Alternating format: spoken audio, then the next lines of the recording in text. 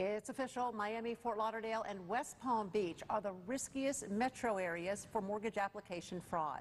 So, what does this mean for you? And if you or someone you love plan to apply for a home mortgage, how do you protect yourself? Here with what you need to know about this is Shari O. Well, that's a dubious distinction, isn't it? Bad stuff, Uh, uh, and you may not get, you may not even know you're getting involved. That's what I think is so interesting. How can someone apply for a mortgage and perhaps become part of this whole scheme and not even know it? Right. Well, the first thing is to really know what mortgage fraud is, and it can come in a lot of different flavors. So, for example, identity fraud is if uh, an identity, someone pretends to be someone that they're not. Income fraud is when income is usually overinflated. Occupancy fraud is when you say that you're occupying a home so that you can get better terms and you're not actually occupying it.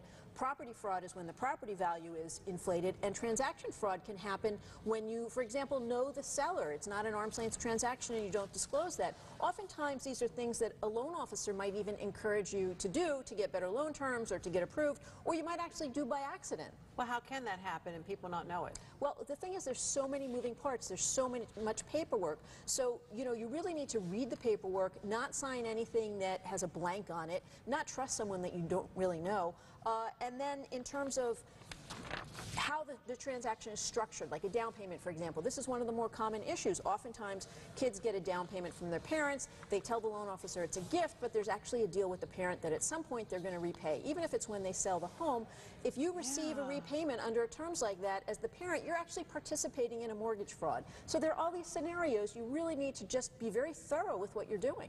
Well, how do you prevent it, though? I mean, well, that's the thing. If, for example, in vacation areas, vacant homes are a big issue. So you don't want to leave your home vacant where someone can potentially claim it's their home and file a false deed and get you involved that way. But otherwise, reading the paperwork is a really good thing. Because here's the thing, Roxanne. Uh, Best case scenario, they find out before you close and your loan gets denied, which is not very good.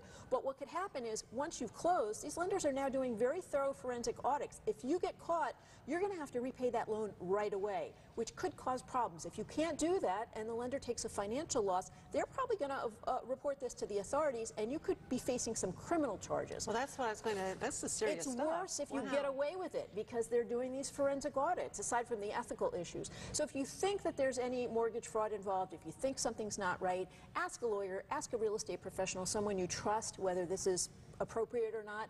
And if you find out it's not, then definitely report it to the authorities. Maybe someday we can get ourselves off that dubious list. That'd be nice. Is it better to get an attorney? Does that help prevent you from this? Or if you feel like you need it, I mean, it's a case-by-case basis. Nice. I think if people are thorough and they know the mortgage broker they're working with, you should be okay. But you've gotta not take anything for granted. cross T's and dot I's. Yeah, because look where we're living.